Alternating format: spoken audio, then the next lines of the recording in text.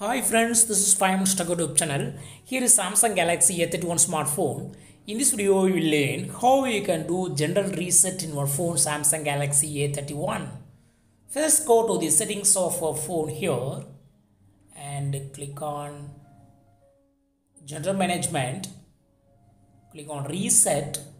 Now click on Reset Network Settings. Click on Reset and you got to give a pattern for authentication and click on reset button here and all things will be reset. This is general reset.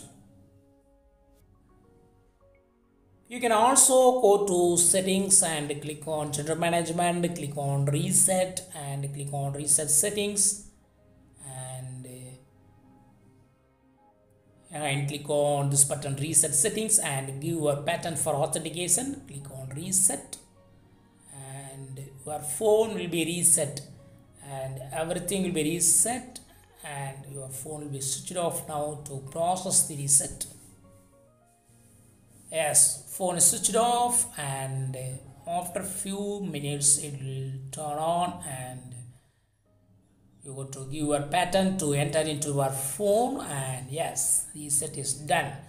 This is all complete reset but it is general reset not hot hot not hard reset to our phone that's all friends. Thanks for watching. Bye